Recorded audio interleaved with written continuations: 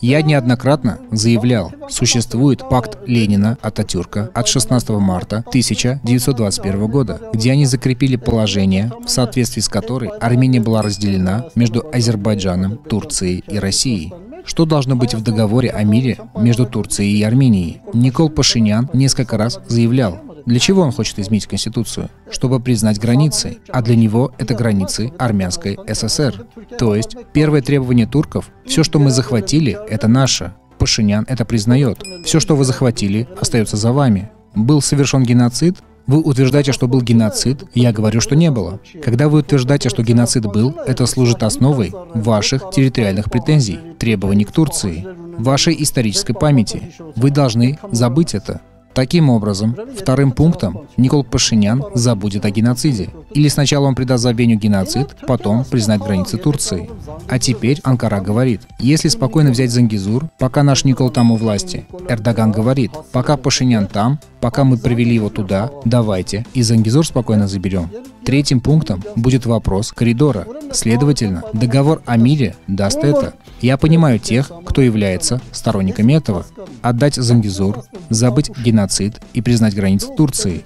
Но я им говорю, вы идиоты. Вы ничего не понимаете в развитии и ходе жизни государства.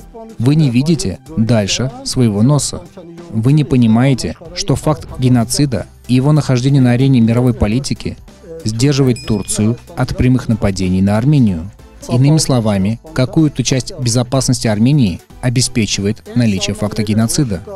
Если ты отказываешься и от тех границ, которые существуют, и говоришь, что у нас и этого не было, то, как ты тогда отдал те территории, в следующий раз ты можешь отдать уже эту территорию. То есть все это является единственной основой существования Армении. Если ты уничтожаешь основы мирного существования Армении, ты уничтожаешь вообще основы существования Армении. Значит, он заключит этот договор о мире и преподнесет это так, что огромная масса зомби скажет «Спасибо, молодец».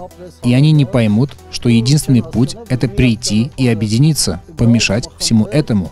Для того, чтобы помешать всему этому, я опять должен вспомнить с маленькой буквы Татула Копяна. Я его называю «половиной пяди». Он называет нас сторонниками не пяди, а я говорю, что он не является и пядью, он половина пяди. Вот они не понимают, что идея не пяди земли была необходима для существования арцахцев Армении. Теперь Арцах исчезнет. Если так продолжится, я гарантирую, Арцах ждет судьба Крыма, где наличие армян будет уже не так важно. Там могут жить и азербайджанцы, но на подконтрольной России территории, на какой-то экстерриториальной части. Стало быть, таким же образом я говорил и о других пунктах. После ликвидации основ эти в прямом смысле становятся архитекторами уничтожения армянского государства и армянской нации.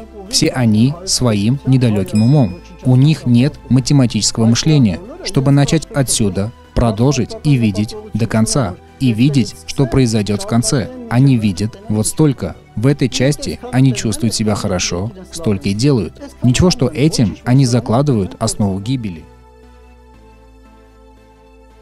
Подписывайтесь на канал, ставьте лайки, пишите комментарии.